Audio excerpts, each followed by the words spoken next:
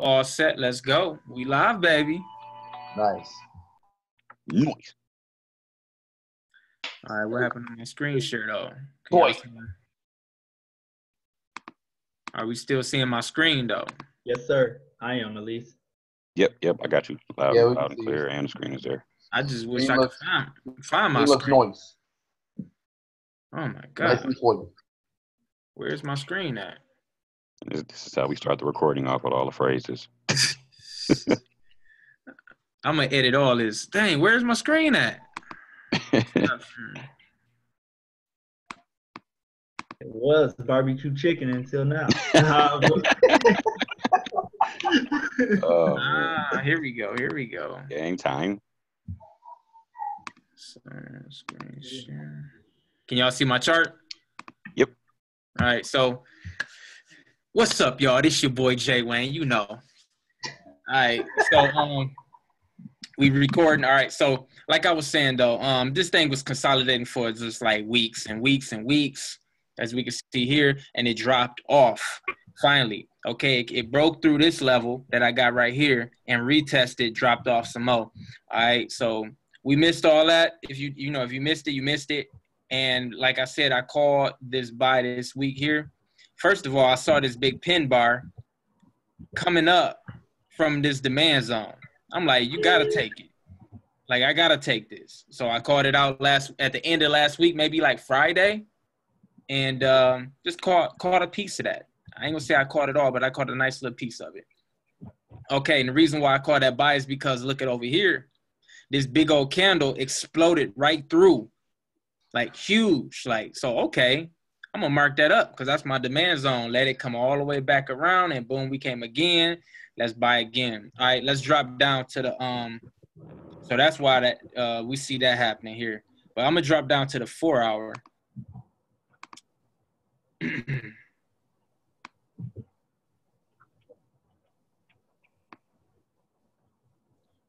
Uh, let's see. We want to make that a little bit bigger.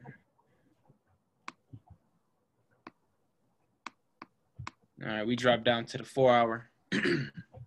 and uh, I had this marked up before the market opened up. And uh, as you can see, it's still kind of climbing up. So that's why I got this here. So I'm not really looking to take this buy right now. Um, if you guys understand the basics, is that we are in now in a, a downtrend.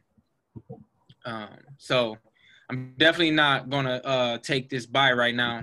Uh, I'll let I'll just pass that buy up and look for a bigger continuation move to the for the sale, um, unless it changes momentum, changes direction. So uh, I'm looking for right now. You can um, the, first of all, let me say that um, the way that you can use this by not just listening to me, watching me, or whatever you can get from me, like training you, you you guys actually can use this template by going into the trade setups in Discord.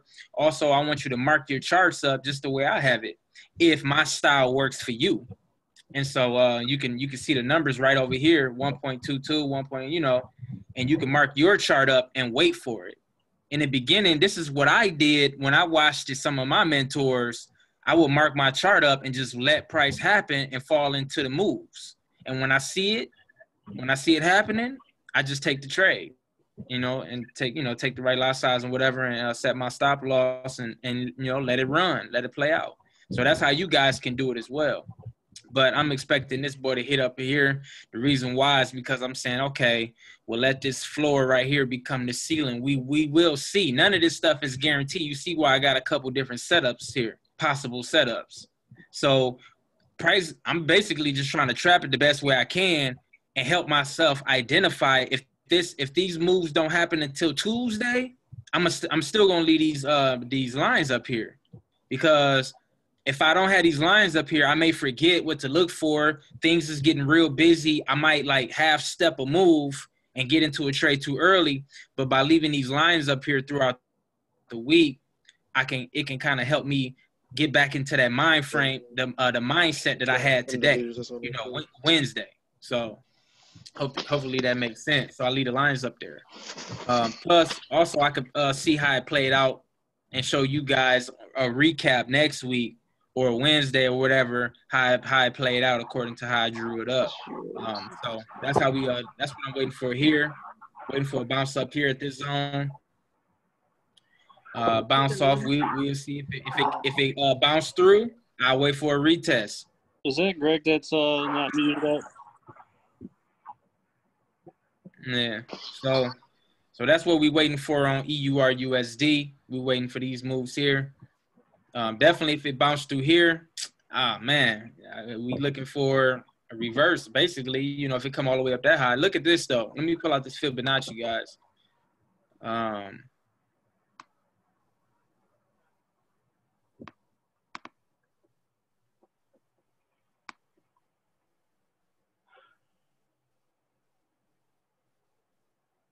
let me see.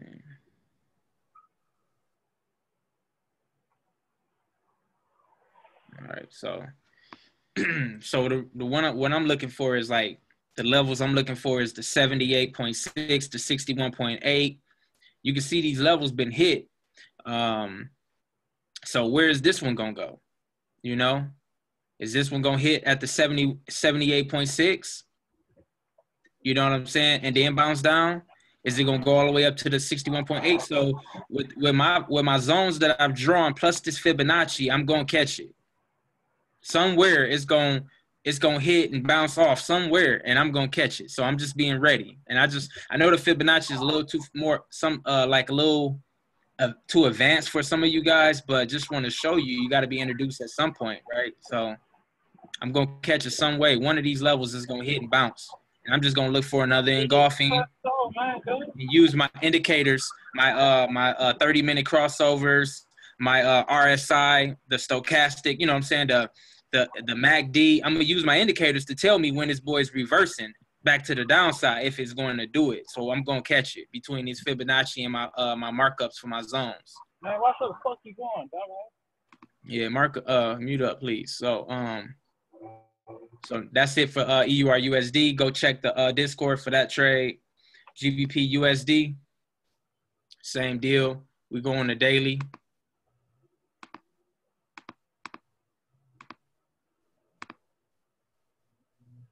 Okay. kind of look the same like uh, EUR USD to be honest with you. Um, it kind of do work the same a little bit, but it be like off. Maybe EUR USD might be the move that is going to do, and GBP USD might be off a little bit as far as the timing. Um, but they be looking similar lately to me. I'm still trying to master that whole what pairs equal each other and, and how they react to each other. I'm still trying to master that, but I've been noticing these two kind of uh, look the same a lot. Um, so we see a consolidation, we see that reversal. So really, I jumped to the daily to get the full story. Like, am I am I overall looking at a downtrend? Am I overall looking at you know a consolidation within these big zones? Am I looking at a, a, a buyer's market? You know, I so I, I look at it on a daily for that reason. So you drop down to the four hour and see, and now I'm ready to make some trades. So what trades can I get in this week? What what, what levels am I looking at? So I dropped to the four hour, and um,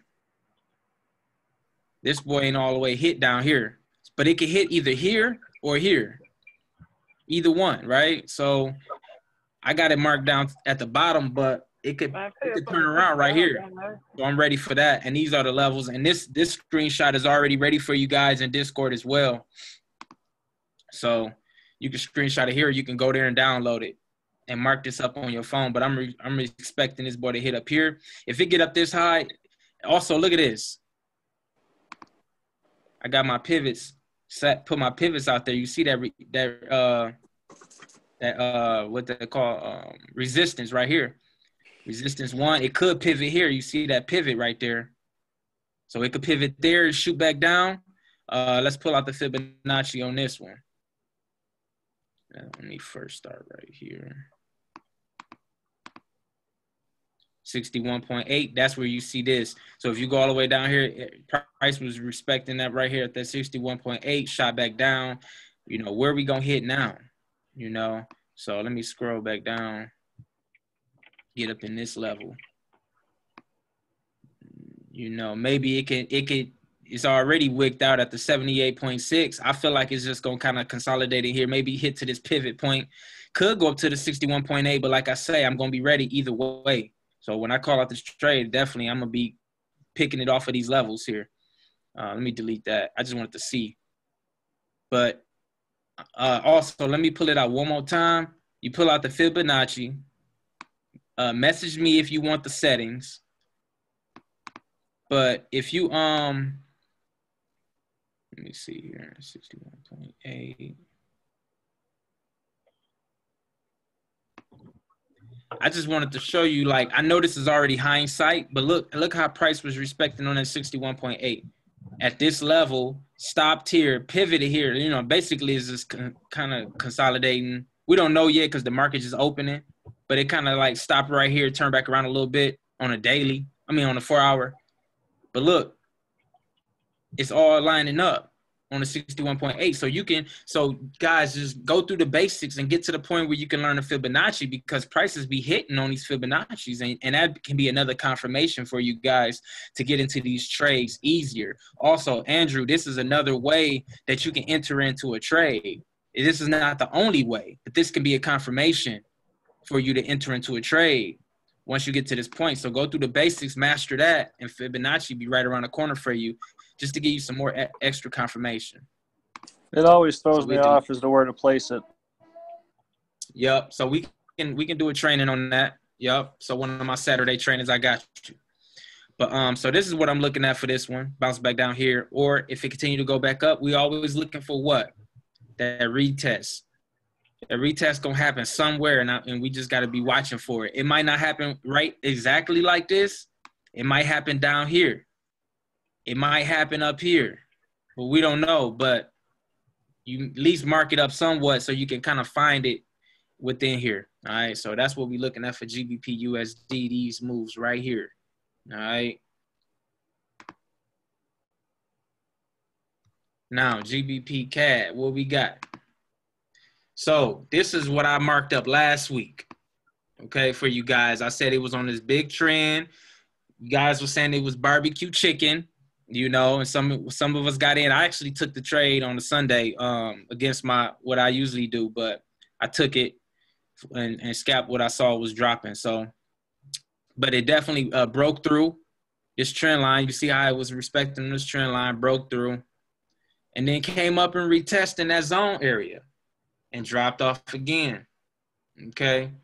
So this is just basic stuff. Nothing on here is advanced. Maybe these little indicators with these uh uh you know uh pivot points, but re, uh it came up and respected in the zone, dropped back down, came back up again. Look, it's just like look at the power of these zones. Like guys, identify these zones because definitely you keep them there all week long and it's just keep bouncing, keep bouncing, keep bouncing on that demand zone. Why why we call this a demand zone, man? Because price is just exploding through here. Eventually it's gonna break. Eventually this this demand zone is constantly keep getting touched, keep getting touched, and it's gonna break. And boom, that's what we got. I thought the break was gonna happen here. So that's why I drew that line here. It didn't happen here, it happened here. I also was ready for it to bounce up here it came up, but it, it really didn't break through. It was definitely in the uh, in the seller's market. I mean, we knew that really it was a seller's market because it broke the trend line right here, this upward trend line. So we knew it was definitely in the seller's market. But I just wanted to be ready, and my um, so that's how it played out last week from what I drew up. So we'll be looking for we'll be looking for now on GBP CAD for the guys that care about it. Um, let me see here. We definitely not gonna chase this. I'm definitely not gonna get in this sale. Okay, so we gotta wait for a retest somewhere. If it if it pulled back so deep like this, I mean, every time it dropped off, right, it always gonna pull back. I don't know how deep, but I gotta be ready. So let's mark it up. Where would I mark it up at? Hmm. Let me pull out my pivot points. We already at the support two, and it's trying to turn back around. We'll see. We don't know yet. It could go all the way down to what level? This thing could probably drop a little bit more. right up into to this little level right here. See that little bit up in there? So it could just drop some more. Hit that support. We'll see. We'll watch it. Um so yeah, I'm just definitely I'm not definitely interested in getting to no trade with this one right now. GBP CAD. I gotta watch this, see what levels it hit, it break. If it start uh, hitting at this level right here, where you see all of this support, I mean this resistance at. So it, the floor, I mean the ceiling up here might become a floor right up in here. And so if it does, we'll just reverse that back up to this pivot point, and we'll watch it from there. So that's what I'm gonna look for right there. So I'm gonna mark this up real quick and then this will be my last pair to show you guys and I'm gonna put this in the uh, screenshot into Discord.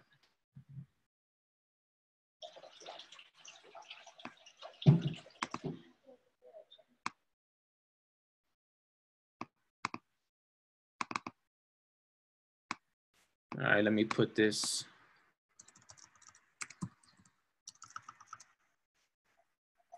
ten thousand. Put it across. We got that marked up, and we just have to wait. We just have to wait and see. Um, could go here, it could go all the way back up, but we'll we'll see. So that's where that's what I'm looking for with the GBP CAD. I'm not really interested in getting in with this one. I'm definitely interested in. Let me see. Complete. Remind me tomorrow. I'm definitely interested in looking at the EUR USD and the GBP USD. So those are the ones I'm really watching closely. Um, but I will occasionally look at this one. All right, so that's my pair, guys. I hope that was this was informative for you guys. Um, um, you know, don't forget to share these to your team, to your people, uh, the the screenshots in Discord and everything. And um, and hopefully we can keep adding value to you guys. I'm gonna hand this over to Kurt. And um, hey, let's make this money, baby. Peace.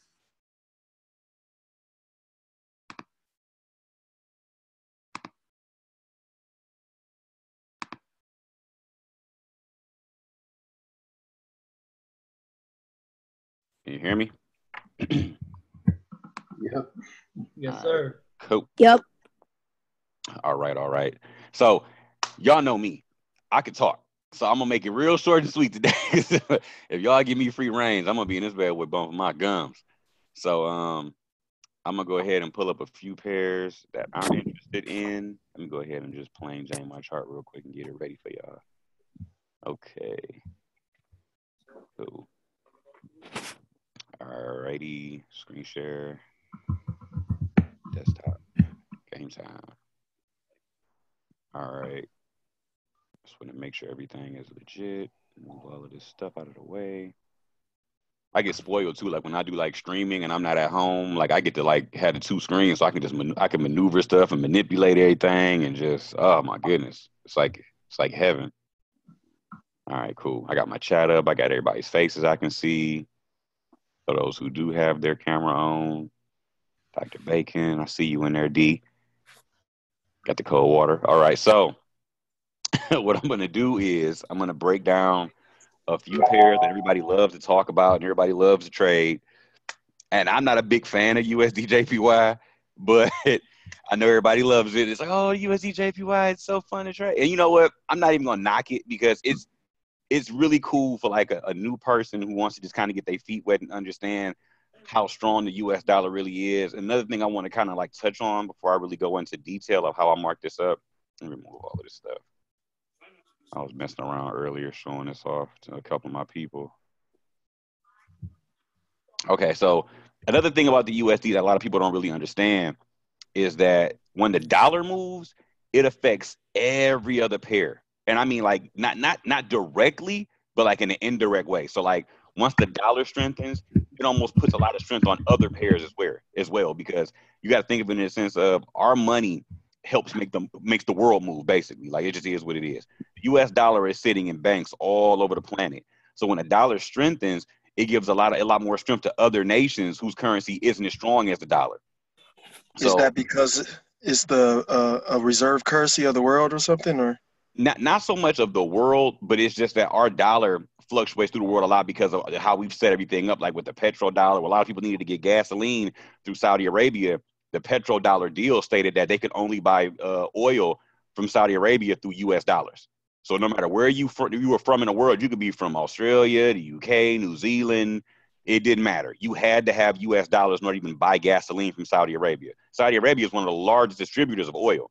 So in turn, it basically made every nation say, well, in order for us to even get gas for our economies and our nations, we got to keep U.S. dollars on hand. We need U.S. dollars no matter what's going on.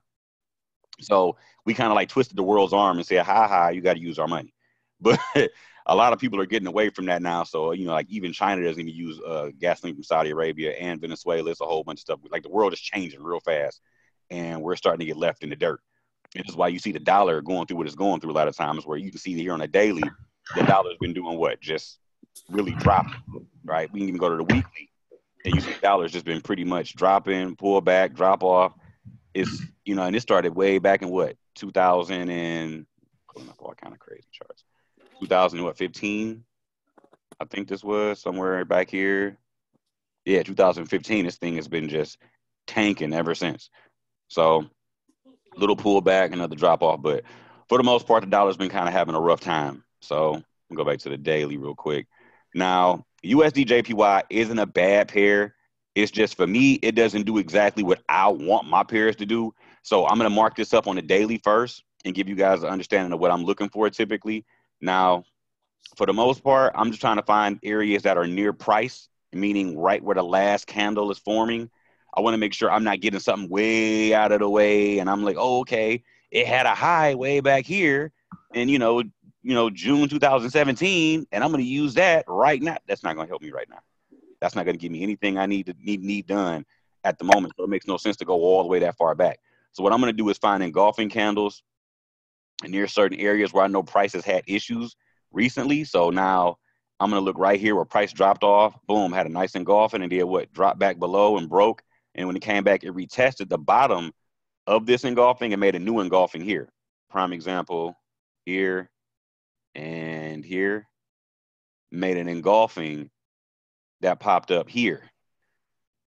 Right? So now this area here shows me that there are levels that need to be broken in order for this to go to the upside. Or this may be a nice resistance area where price will hit here and start to push back below our 100 moving average. So right now, this is a good enough zone for me on the daily for, for price to be respecting this level. I'm going to look directly below. And then right here, was an area where price retested here on an engulfing. So now I'm going to mark this up from here and here. And now I'm going to make sure that I really just want to pay attention to these immediate zones.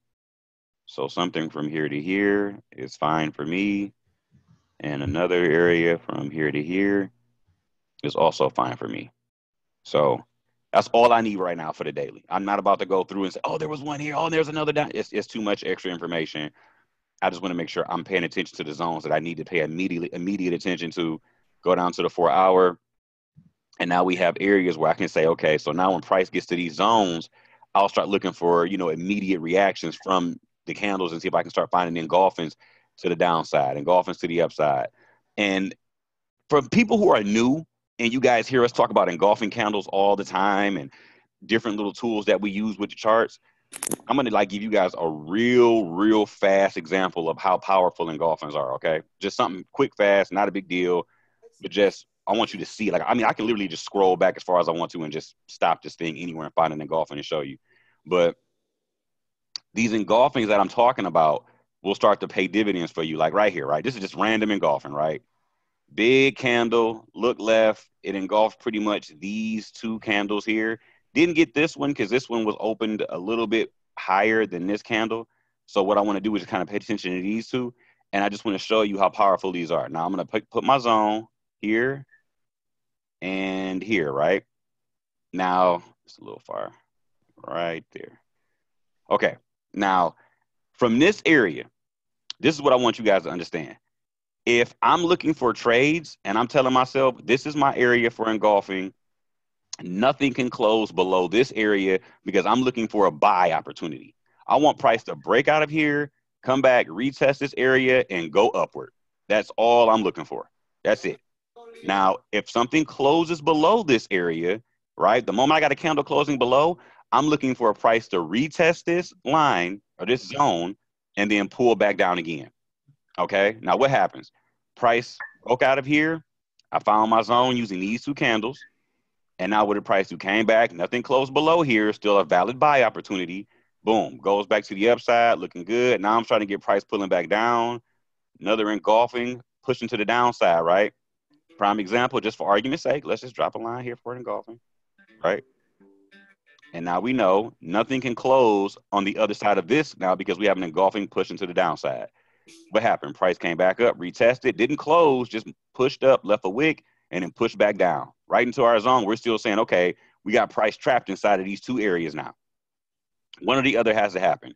Either it's going to break below, or is going to close below this line, or it's going to respect and bounce back higher and test this. And either we're going to be in a range or we're going to have a breakout somewhere. Price came to this level, pushed up higher, came back, and then we got this candle right here. Closed below our area and told us that the market wanted to drop lower.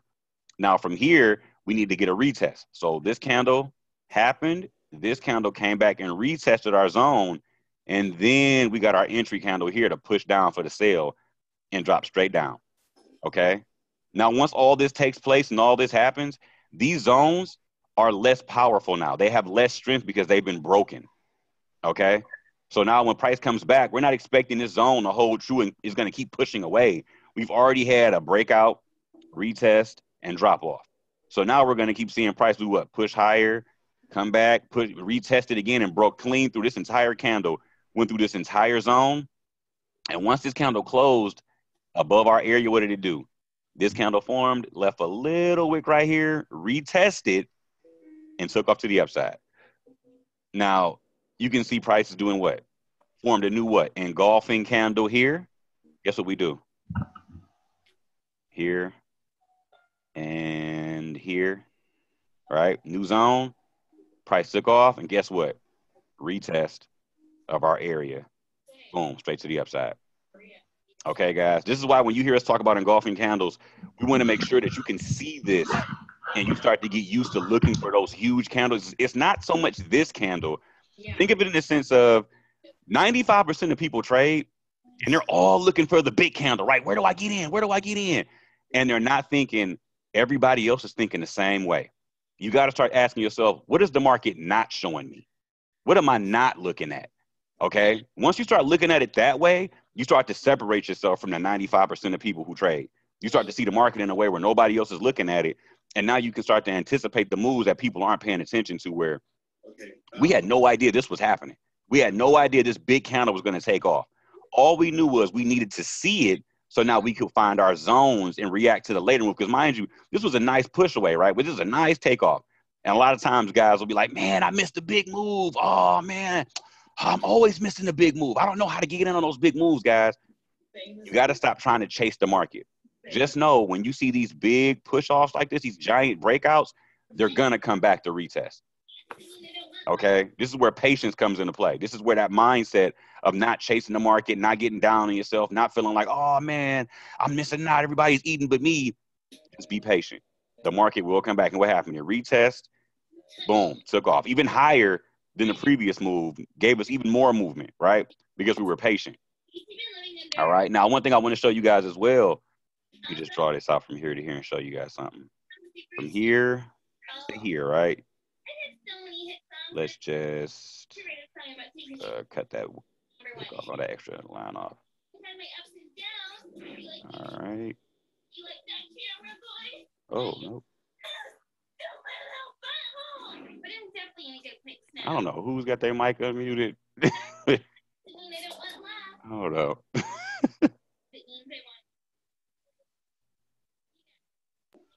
yeah, please mute. Watching cartoons or something in the background. I mean, all right. Something going on back there. There we go. Okay. That was me. That's all good. All right. So you go ahead, go ahead and mute up for me though, bro. Shit. Um, how do I do I got it. I'm not even in that room no more, so we can. All right. So look, I'm not the uh, host. That's why I can't do it. All right, cool. All right. So look, you see this move here, this nice push to the upside, this A to B move. I wanted to show you guys where even where the retest took place, typically this move will be equal to the second push, right? So from here to here, we got our push from here to here. Look at what we got. Almost the same distance, right? I can't make this stuff up. So we need to let the initial move go. Do not chase it, okay? Let it go, but have your zone ready for that retest. And now from here to here, you knew exactly how long to stay in that trade because of what? We already got this move right here. Okay? We saw that move happen. We knew we had an engulfing. We found our area, waited for retest. Boom, boom. Same distance. Okay? I can't, I'm not making this up. I'm not trying to be all, modest. we literally just scrolled back and randomly found one, right? No big deal. Nothing's nothing fancy. I just want you guys to be able to really see how powerful this training is and how you can really benefit from this. Okay. Like don't skip out on marking your charts up. Okay. I know it's easy to just say, oh man, I just wait for the swipe trades, bro. I ain't got to do all this. I'm good. I'm going to sit back, get swipe trades, use a scanner, and I ain't got to worry about none of that. Listen, if you don't understand structure, the swipe trade is not going to help you. Okay. If you don't understand what's really happening in the market right now, all of the tools that we sending out to you, they're fun and they're great. You can make money with them, but I'm going to make sure you guys can really feed yourself at the end of the day. Okay. I don't want you dependent on any, I don't even want you dependent on me. I want you to come back and be like, hey, remember that time we had training? Yeah, I do that on my own now. Okay. I see this on, I see this on my I don't, I don't need a whole lot of talking to. So go back to the front. All right. Now we're back here in the beginning of the chart, four hour time frame, USD JPY. I'm telling myself right now, I want to be patient because now let me zoom in a little bit just so you can see what I'm looking at. Right now, I have an engulfing candle right here that have that pushed to the upside. Now, what's happening now is price could not close below this candle zone, right? And what happened? Price closed below, came up, and now we're testing this area here. Okay. I want to see what's truly about to happen now, where if price is going to stay below this zone and start pushing back to the downside, or are we going to get another break into this area?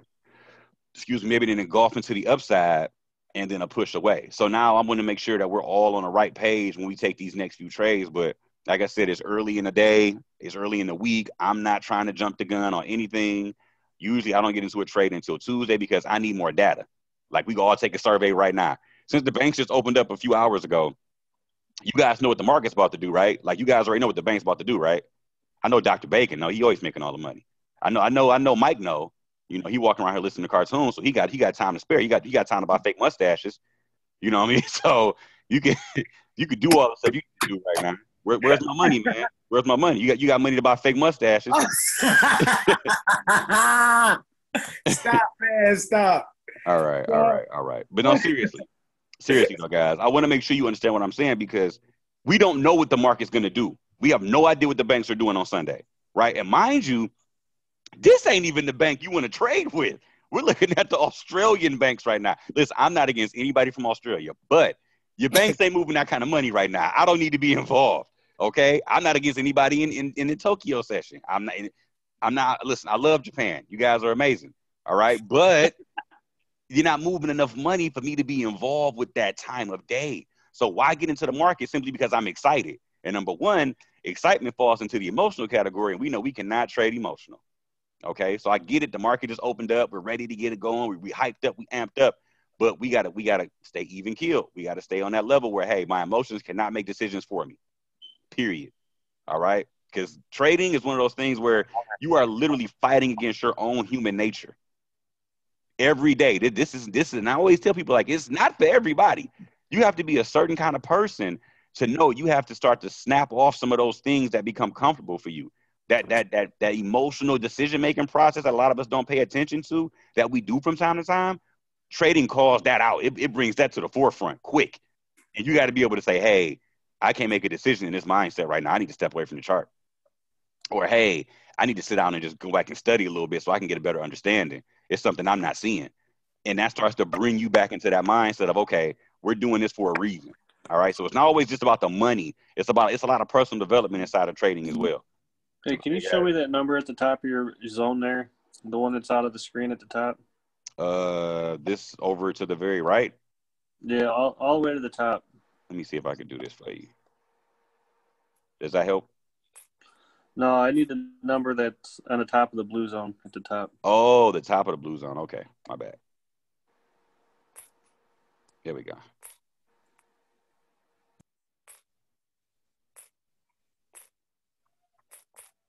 All right. Oh, I thought I was missing something on my screen. You can see. You all good? Yes, sir. Sweet. All right. So I'm going to go down to the 30 minute really quick. And I want you guys to really see what I'm seeing right now. I put this line here for a reason. When we get to the 30 minute, we're going to start seeing a whole lot more information that you're going to be able to start to decipher. Okay. So 30 minute. Now we got a much larger picture we're looking on in that four hour. All those four hour candles broken into small little chunks now. Okay. And lo and behold, what we got here an engulfing candle to the downside, right? But at the same time, we have an engulfing candle to the upside right here. So now we're getting like a macroeconomic picture of what's happening because at the moment, nothing can technically close below this level here, right? We got an engulfing to the upside, right? Let me move this down just so you can see what I'm seeing right here. And price is moving away, retesting, and now pushing back up. And now we also have an engulfing to the upside right here. Nothing close above this area. So now we got we got a standoff with price right now, right? And something because this candle engulfed pretty much these two. This candle engulfed this area here. So now we're looking at an actual standoff with price where something has to break one of these zones right here. Okay. And this is where going through the multiple time frames starts to play starts to play a bigger role now. You're not just wondering and guessing. You're like, ooh, we I'm in some consolidation, but something needs to happen inside of one of these zones. And I know the moment I get a breakout went through one of these areas, I can simply wait for a retest, boom, and go to the upside. Okay. Also, your risk management now is much more efficient because we still have rules, right? If something breaks this area, right, and comes back and retest, it can no longer close below this zone now, right? So now guess what? Our stop losses can be a lot closer, meaning our risk management is a lot more efficient. So now we know the moment we get in, we're catching price making a real strong push out of one of these areas. Okay? Because now the rules and the structure of the market are on our side. We're not guessing saying, mm, I wonder if it's gonna stop or start right here. We're like, nah, man. I got too much information right now. I got data on my side. I'm not guessing. I have information that is powerful and it lets me make a strong decision that I know once I do get my movement, I'm going to take a dominant push from that position. Okay. Technical analysis. Yes, sir. Yes, sir. So, like I said, I'm not a big fan of the, of the USD JPY. I'm really not. But I just wanted to show you guys how powerful this really is and how much it can truly help you if you just stay patient and you start letting the market really give you what you're looking for. Now, the one thing I will say is this does look like a strong buy. I'm not about to, I'm not even about to hold you up because back here, we had a very large engulfing to the downside. And price continued to test and test. And we finally got a break right here and price pushed higher and came back down. But we're we've never broken this level here. We broke this area, but we never broke this level here. So now I'm thinking we could just continue to see another push, and we're just getting a good retest of this engulfing here that began its upward move. Okay. So even though I'm watching these engulfings happen all over here, I have to look left to make sure I'm not giving away enough of my position. Okay. I'm not I'm not just being biased over what I see here always look left and get as much information as you can and now we can make a strong push from there and then if anything we can just see price go from here and maybe come up to this area and stop before we have, before we have another push back to the downside because here there's just a slew of engulfing downward a bearish engulfings here right we can just see retest drop off and, all, and it would just make sense because now we're testing a daily zone that price wants to push away from so just give it time, be patient, let the market move. And like I said, this is like literally this time of day. It's a Sunday night. Like there's not going to be any oh my god moves that's going to happen in the next few minutes. You know, I mean, London session may start up and we can get some strong pushes, but from there, that's pretty much the only thing I really want you guys to start looking out for. Now, last week, I'm gonna go to the next pair too. Uh, where is GJ? Everybody loves GJ. And we're gonna just plain Jane it. Alrighty, start up on the daily. Okay, so before I get into the GJ analysis, I wanted to say this to you guys. Last week, I went over a few things with uh, with the team, and I wanted to break this down for some of you guys on here now. Like I said, you may be new, you may have no idea what we're talking about. You know, fresh from trade and get paid, Facebook group, and you're like, let's just see if these guys know what they're talking about. You know, we may be watching the recording, but I want to break something down for you guys. There's something called the gambler's fallacy that I think a lot of us need to be actually paying attention to because we have habits in our life that will creep into certain things un- unbeknownst to us because we've been used to doing things a certain way. Okay. Now, the gambler's fallacy dictates that if you flip a coin, you know, 10 times, five of those flips should be heads and five of those flips should be tails, right? Now, if I decide to flip a coin right now in front of you guys and I flip it and the first five are heads and I flip it the sixth time, the sixth one should be get what? We can write in the chat, you know, doesn't really matter. The sixth one should be what everybody's probably probably just saying tails, right? Makes sense. The sixth one should be tails. This is where a lot of people start to kind of get into this mindset of, okay, after so many trades or after so many chances, after so many tries, my luck has to turn around, right? Something has to switch up. This is where I want you guys to understand this when I ask you this question. What makes the six coin flip more important than the first? Not one thing. Nothing. Not one thing. So now, once we have this mindset that the six coin flip is no different from the first, you could be six trades winning, right? In a row. The seventh trade comes up. Does fate dictate that you're going to win that seventh trade, or does it dictate you're going to lose that seventh trade? This is where a lot of people start to run into this mental mindset of we've been carrying around this superstition of odds. Something has to turn around. Murphy's Law. have to have to help me, right? Yeah, well, have, anything that could go wrong, anything that can go wrong will go wrong. You have to start thinking in the mindset of there is no dictating force behind the entries and exits of our trades. Anything can happen. Okay? Sometimes the market will flat out just chop you up. It's just a part of the game. But this is where risk management comes into play, right? This is when you when you start researching some of the most wealthiest traders on the planet that's making bill and I mean billions. These guys are making a killing. Like I've been I've been doing my studying on these dudes because I want to be one of the best traders on the planet. I feel like Derrick Rose. Like why, why can't I be MVP of the league? I don't I don't understand why I can't just be the best trader on the planet. I don't I don't see why I can't. But when you research these guys, the trades that they take, the risk management that they exercise, three to one, four to one, five to one. They don't even take two to one trades. So they could lose with the five to one odds, they could lose eight trades, win two, and break even. And they won't take trades outside of those risk managements. This is where you start to really see behind the curtain now, where it's not about how big the move was. It's about how much were you willing to risk just to get in. That's where it goes. Where you can have 10 L's and just get two wins and you broke even. That's the that's the way we want to start teaching everybody how to trade. Those are the methods that we want to start getting into where the odds are going to be on your side because now you're not dependent on random random numbers. You're saying, look, I'm playing this game the smart way. Warren Buffett says you're going to lose, but just make sure your winners are a lot bigger than your losers. And it all comes down to having in your mindset that it's okay to lose a trade. It's okay to lose five trades. Because if your risk management is right, you're not sweating it. You're not crying. Mind you, I can ask anybody in this chat right now. Whenever you lost a trade, whenever you felt bad, what was your lot size looking like?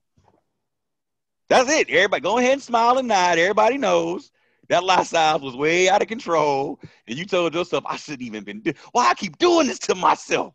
You keep on doing the same thing because you have this this vision in your head that every trade is the home run trade.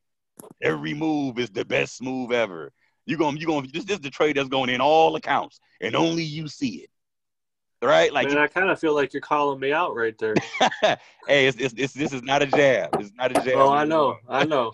But I, I want it's, it's not just you. This is like a universal thing. Like a lot of us go through it. I went through it. You know what I mean? And I want you guys to know that the things that you question yourself about, the thing, the self conversations that you have when you're looking at that account and you sitting there watching those charts and you talking to yourself mentally, they're all having that same mental that mental battle where you got to shut that voice up in your in the back of your mind saying, I don't know, it might go this way. Mm.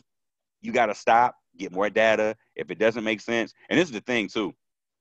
If you're looking at a trade, like if you're looking at a chart, right, like on this daily, can you tell me what this what the overall trend of this of this, of this market is right now? If it takes you longer than five seconds, don't trade it. Right. This is a daily, so this is this is a little skewed. But if it's like this is like an hour chart or a four hour chart, and you can't gauge the overall trend, don't trade it. If it takes you longer than if you gotta look at it and squint, don't even do it. don't don't even do it. That's just the real. Like I'm not about to even kind of give you this super technical answer. If you gotta go, nope, nope, nope, it's, it's it's not worth it. It's just not worth it. Now, if I showed you something that looked like that looked like this, right? Like you're you're looking at this chart saying, oh, this is clearly Yeah, that's falling off the cliff. Not up or down. Yeah, you, you're looking at this thing. It's clearly falling off the cliff here. So I know what I should be looking for. I should be looking for dominant sale opportunities as the market's moving. Ta-da! You know, uh, there you go. Now, here at the beginning, this is literally on your mark, get set, terrible. It makes no sense to set yourself up for that. So you got to be careful when you start looking at charts. And you, it, I want to make sure that you guys are just using common sense a lot of times. Oh, that's- shit. And that's why I went into the gambler's fallacy first, just to make sure that you guys understood that a lot of times, inadvertently, we will come out of the gate with a bias because of how we think based off our past experiences. Okay. So I just want to make sure I touch on that. Now, I'm going to do something real funny with GBP JPY really quick. And I just want you guys to follow along with me really quick. And this is like a real fast one candle thing. You can look for it on the four hour or the hour, even a daily and you're gonna laugh when you see it every time. Okay, so just follow with me for a second. I'm gonna drop these Bollinger Bands on here, and boom. I even got the default ones on, just just to even make it even funnier. Actually, I'm gonna go to mine. I don't even wanna I don't even wanna play around with y'all. I'm gonna go right to my settings. Yeah, my settings for Bollinger Bands are 15 and 1.75 because I like my um my bands to be a little bit tighter. Like I actually see if I can move this. You see how they are now? Like they have like a little bit of room. Like the candles are like inside looking all cute and snug hugging the edges of the bands. And i switched mine to 15 so you can see the difference. Now it's tighter. Like i got them bouncing right off the bands giving me the moves i really want to see off the edges right? Not so much wiggle room. I want tight entries tight exits all right wait okay so right here what i want you guys to notice is when the candles get close to the edge here Start looking for these right here. Let me zoom in for you.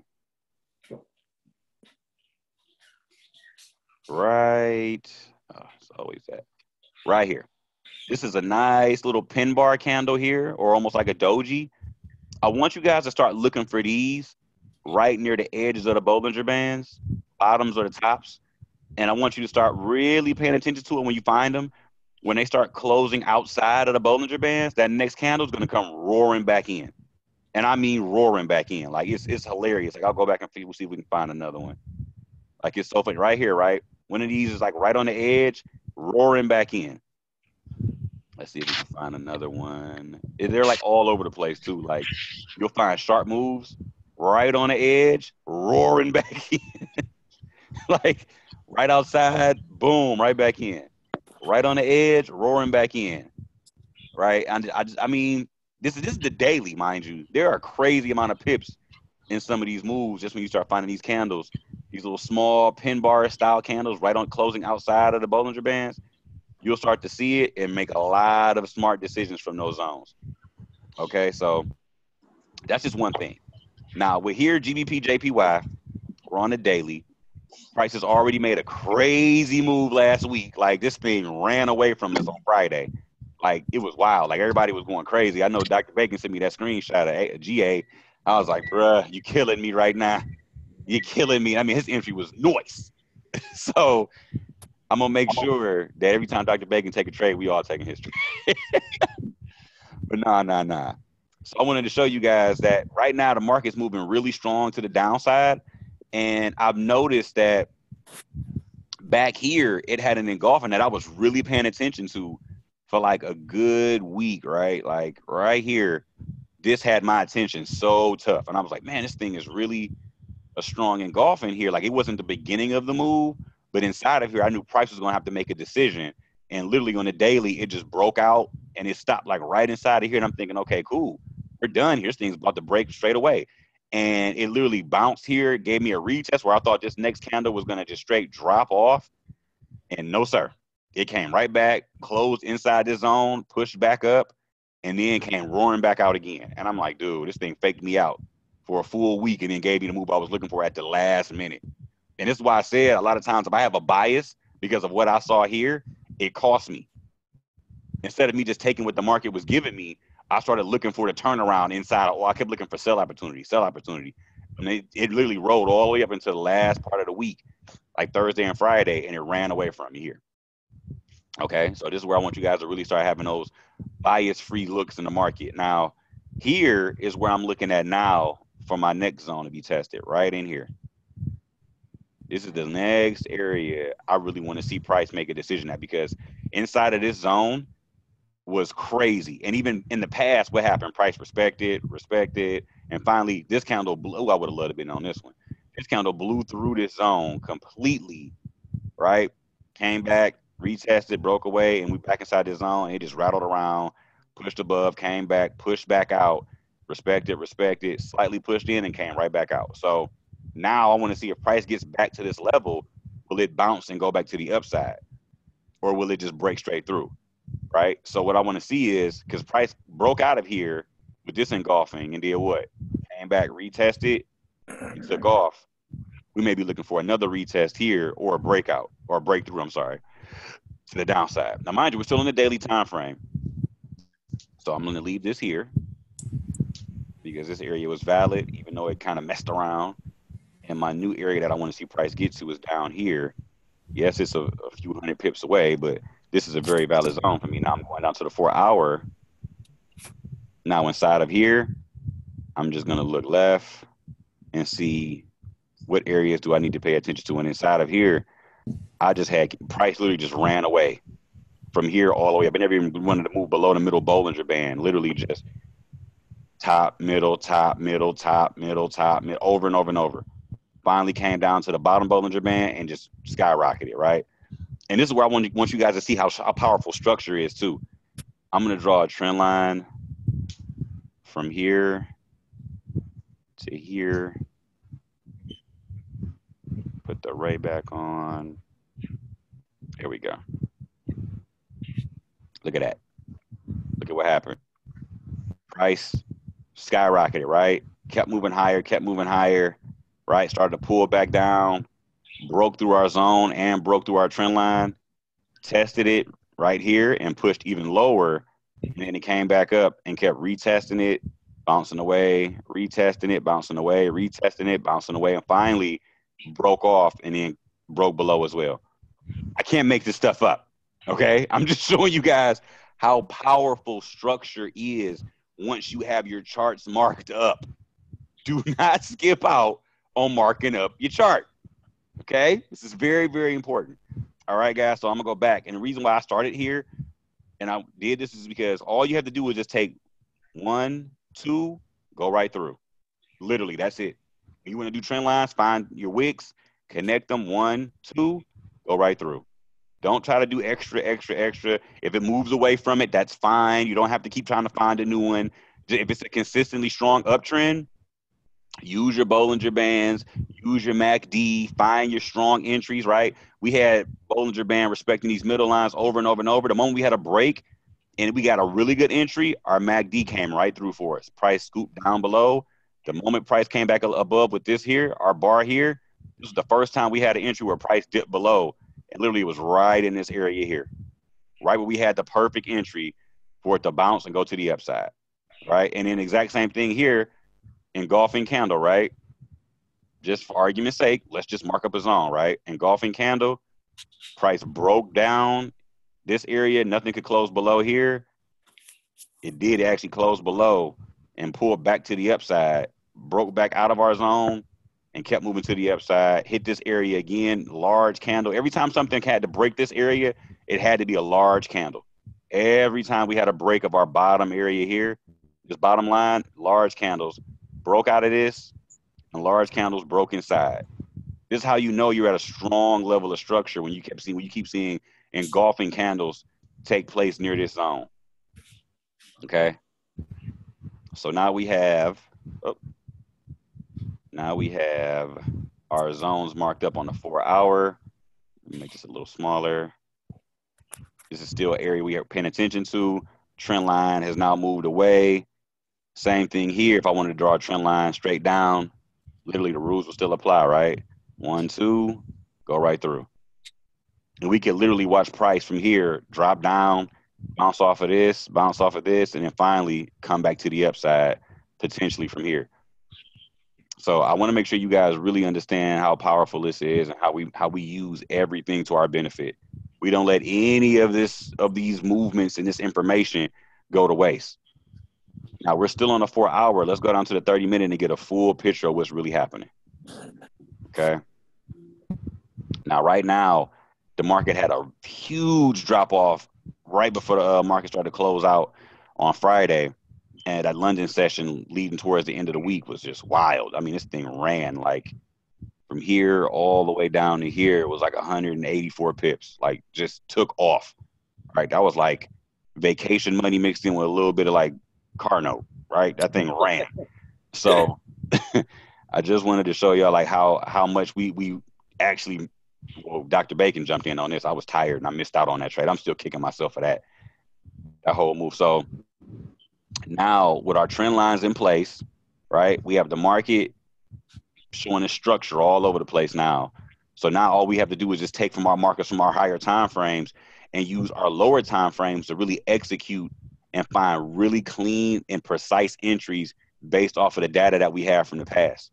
So at the moment right now, price is above, but if it breaks out to the bottom or to the upside, we know exactly how far price tends to want to go because of all the structure we have in place from the higher time frames. Right. Now, right now, you see we're just dealing with just nothing right now. Like it's just sideways, no big deal, not a whole lot of volatility from Friday leading into Sunday right now. It's just kind of just dead at the moment. So I don't want you guys jumping the gun trying to jump into any trades now. But use the use the, the Discord. You know, go in there, type in the trading uh, forex and chill chat. You know, if you got questions, we'll answer them in there. Keep your eyes peeled for some of the things we got coming up with the uh, signals chat that we got going on. Now, I don't know if Dr. Bacon want to jump on and drop a little bit of knowledge. I'm gonna open it up to him so he can do a little bit of uh, Q and A. And then once he's done, I'm gonna uh, circle back and then we're gonna go check out the news for the upcoming week. And then from there, you guys can go ahead and do your thing. So let me go ahead and stop sharing and open it up for you, my brother. And I'm gonna mute up, and it's all yours, bro. It sound good, sound good. I didn't plan on saying anything tonight. I want to just sit back and re- relax. Oh no, I'm putting you to work, bro. It's a wrap. so I guess I'm already gonna put the work. So first, let me introduce myself to the team. I'm Dr. Bacon. They call me uh, Dr. Bacon because I'm really skilled in the forex market. I am uh, been training for about trading for about six months. Uh, I taught myself how to trade about seven months. Um, I'm a naked forex charter. I don't chart at all. I mean, I may throw just a support and resistance line up there and take my trade off of that. Um, we were supposed to have uh, Joe do uh, GA, but I think I'm gonna take GA if Curtis don't mind. I actually want to take a look at GA. I just got done doing another Zoom call about this, so I'm, I'm pretty much know Go right ahead, my brother. what GA is doing. Just, but, leave, just uh, leave EA for Joe. That's that's his baby. Don't don't touch EA. I won't touch EA, and that's my baby too, man. That's crazy. Like Curtis said, that all's been pushing money through the market like crazy. And we've been catching some major setups, man. I grew my account so much with EA that it wasn't even funny. So let me uh share my screen and uh. I'm 23 years old, man. I never thought I'd be trading forex, man. Never, ever, ever in my life thought I'd be trading forex. Um, everybody always said, "What made you get into it?" And I'd be like, "Man, it's money to be made." As you can see, I'm looking at GA right now as we speak. GA. So uh, this is what I made my major move off of earlier in the week. Uh, I trade off the four hour and the one hour, uh, just off a support and resistance line. That's it. And I trade off the highs and the lows of pairs. Uh, this is how I make major, majorly major most of my money. Uh, so if I can, and I'm not using my computer at my own house, so please bear with me. I'm at a friend's house that let me use her computer, and I was really grateful of her for letting me use her computer. Can we mute up? Can we mute up, please? Uh, So let's see if we can get this to look a little better for you guys on the screen. Uh, so I trade off the highs and the lows of pairs. So as we can see, GA was pretty much going back up there, touching my resistance line over and over and over again. And every time they hit it, and this is man, this is basic stuff. Like if you don't know this, you need to go back and, and we got the Discord set up so you watch from the beginning videos that shows support resistance line. That's all I use, support resistance line. So this is clear, clean as day. We got this uh, resistance line at the top, the support at the bottom. And just in case somebody don't know what a support and resistance line, I'm gonna just go ahead and explain to y'all how it works. And I'm actually gonna do a scenario because my pastor gave a very, very good scenario of what a support is. I really don't have a good one for resistance, but I'm gonna try my best y'all. So you ever go home or you ever go to church or you ever go somewhere that you're not familiar with and you go sit down in a chair, you don't look at the chair and say, "Hey man, I'm gonna examine this chair to see if it's gonna hold me up." No, you don't. You don't look at the chair and inspect all the screws, all the nuts, all the bolts. You just sit down in the chair, right? You just personally sit down in the chair and hope that it holds you up. Well, that's what the market does. It just hopes that this price is going to hold and it's going to go up in the opposite way. That's pretty much what the support is. Resistance is, I kind of compare it to the glass ceiling. Uh, you know how uh, female workers at some point in time couldn't reach a certain pain level and they end up breaking. Um, and uh, and I don't know the year, but you know I compare it to the glass ceiling. So where it price couldn't get broke, but it eventually can break at a point in time. So GA was pretty much doing the same thing over and over again. It was giving me that support and resistance line. It hit the high. As soon as it hit the high, what did it do? Barbecue chicken. That's what we call it. It gave me barbecue chicken all day. Same thing. Went back up. Barbecue chicken all day, man. It actually sounds good too. Some barbecue chicken from Jets. But anyways, anyway. Uh, so I uh I, I just wanted to show y'all something real quick and simple because I'm not gonna hold you long. I know Curtis Curtis can keep going, and I can keep going too, because that's all I, I, like to talk to people about forex because that's how we make our money. So uh, as we can see, price broke my support line down here, and people are like, "Well, are you looking for this to continue down on a downtrend?" And I said, "No. Look at what price did back here. It came down, broke it, and shot back up. So look, look what price is starting to do. It's starting to go right back up. So I'm expecting this thing to even put out the high and the low a little bit more longer. And now you're looking like, well, how do you know this is the high? All you gotta do is look left, look left on the pair and see that price never came into the zone. Price never came into the zone. Never came into the zone. It, it, it was nowhere near. So we consider that to be the high point. And Curtis said, uh, Curtis made a really good, uh, a good, good analogy. He said, why, why pay attention to what's in the back when you when current price is right here? So this is all valid to me. All this right here between my support and resistance line because this is what I can see as in within like the last three, I mean, last month. This is about uh maybe about maybe a month and a half worth of work. But um, so another thing we're going to be paying close attention to, and I'm going to be paying close attention to, is my Aussie pairs because I, I, love Aussie pairs. I'm not going to overstep on Joe toes on this, but I'm expecting price to continue to go up and hopefully, hopefully get back up on this uh this high, and we can catch another down sell on this where if I made my seven thousand, I want y'all to clean up too. So uh, I'm not gonna talk long. I just wanted to share share some knowledge with y'all what we're looking forward to with Dr. Bacon and what we're gonna do with Dr. Bacon and how my strategies are gonna come to play with uh with uh the team take profit. I'm, I'm I'm so happy and so proud to be a part of this team because I love what you guys are doing. And uh, my other team was nothing compared to this, none none at all. But I'm going to take some questions. Curtis said he wanted me to uh answer some questions for anybody who do have questions. So if you got any questions, unmute yourself and I'll, i love to answer them. Anybody? Hey, bro. So you saying that you gonna? Yeah. So you saying you gonna? I'm gonna hand it. Can you hear me? I'm listening. I'm listening. Oh, so Yeah, you yeah. saying so you saying on GA you gonna wait till it go all the way to the top and catch the sale? Now- I, nah. I, I, I will. I, I'm going to potentially catch buys on this if I see price holds upon. Or I'm gonna get the retest. I'm waiting for a retest on this uh support line. If I do see a retest on this support line, I will be getting in for some buys to go back up. But right now, where for this Sunday, I can't determine what the market is going to do. See how it did go. It went slightly below Um, and I'm looking, and I look left, and I seen, hey, it went below, and it shot right back up, and then we got a couple of retests. So once I get a strong confirmation retest, we're going to catch this on the buy as well. We're not just going to look for the sell on this because that's a long way up. This was uh almost 280 pips that I caught on this uh downfall, and I don't want to wait to go back up to 280 pips. That'd just be crazy. Look at this. That's 280 pips. Well, that would be ridiculous to wait that long for an opportunity to get in on a trade. So we're gonna definitely catch some of this on the buy. I'm just waiting to see if this support line is gonna hold. Is it gonna hold as a resistance line or is it gonna hold as a support line? That's all I'm waiting for. And it being Sunday, it's hard to determine. So um, I, at one point, Does that answer your question? at one point eight three, you wouldn't would you would you uh, look at that as a zone area at where you see all them wicks at in the middle? That's like one point eight. You see what I'm saying? It's like you got them big shoot ups, but around here? Are you talking about hey, go up some more. Up, up, Right up, here? up, up, up, up, up, right up in there. You see them wicks all in that Yeah. zone area. So how Yeah. you how you looking at that? So when I'm looking at this, you you could put another line right here because this could be another zone of resistance. You see how price kind of broke right here, whipped out, and it came right back down. So you could you could actually throw another resistance line right there because you, you see that price has been marking up, going up, coming back down, going up, coming back down.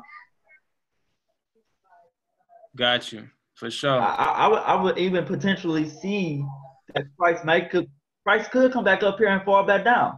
But I, I would I would really I mean I would really love for this thing to go back up to the high. I, I mean Yeah. seriously I mean I know would we can't we can't always assume, strategy can't that be biased. have that, Can't that would be like a, go back up to a stop loss or a, a take profit line or something.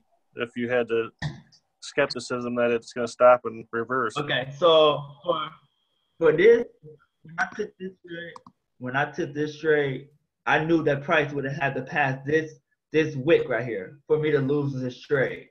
So my stop loss when I got into this trade on Friday, my stop loss was just above this wick. So I got in somewhere around, I got in somewhere around here, and let's just do to this wick. My stop loss was about 45 pips. And, and as you can see, I got a 200 pip payout. So it was like a one to five, one to four ratio on this trade. Any, any Yeah. more questions? I would have took that. Yeah, all day. All day. that that's, that's as we say, that's barbecue chicken. Barbecue chicken. Yeah, I know. Or as Bacon uh, says, So I mean, bacon. my, my strategy doesn't come. that's bacon. So my strategy doesn't come a lot where it comes off the highs and lows we notice, but pretty much when pairs are around this high and low demand zone, where it's pretty much at the low or at the high, you get things like this where it's just this is really all this is is consolidation. It's a huge zone of consolidation, which is 200, 300 pips, but it does it over and over again. So you, you pretty much got a strong support and resistance line right there. And this is just like you said, this is just barbecue chicken. And you gotta you just gotta take this. There's no way you can't tell me you're not you're you're passing this up. You're taking this all day. But ah, I'm yeah, this glad I, I like this. I actually didn't peep this out. Who's this Jay? So so Jay, did you did you actually mention this? This is actually I like this uh this one right here. We can actually probably see price even come back up to here and then Yeah. get the drop off. So uh, if that was Jay, I really like that. Yes, sir. Yeah, For so sure. can, can I, if I can, if you don't mind, let me jump in right here just for a second. Yeah, yeah, this is yours. Yeah, I, go ahead. Let me uh, start with No, I was not in a position where I where I was gonna be able to just do my wanted to but I'm glad I am now. Um, so just if you would just uh, let me share my screen. okay, go ahead. All right, cool. Yeah, so man, look, we're appreciating uh uh Dr. Bacon, man, is on the squad now. So we're definitely uh we're definitely excited that he's gonna be um, you know, a part of our a part of our trading team and as far as actually helping us call out signals as well. So um, you know, Bacon, man, would welcome to the team, bro. Thank you. Thank Um, you. So let me let me just show you something real quick because you guys already know GA and EA. That's my thing. I love GA and EA. Probably Kurt said something when I walked away. Just if I know Kurt, he probably You was know I talking about. GA and EA. I I was like, listen, don't touch EA. That's his baby. That's that's like that's like that's like that's like mowing his lawn. You don't want to you don't mow another guy's lawn. Joe, Now, I if you want to come on my lawn, that's okay. I'll let you do that. Joe, I'm not Um, gonna lie to you, man. Yeah, I'm, I'm not No, but listen, uh, for real though, if you look here on um, GA, what what what Bacon was just saying is real. Actually, let me go to Trading View. So if you go to Trading View, here's what we were looking at that on the four hour. Let me show you what it looks like on the four hour. Um, let me move this out of the way.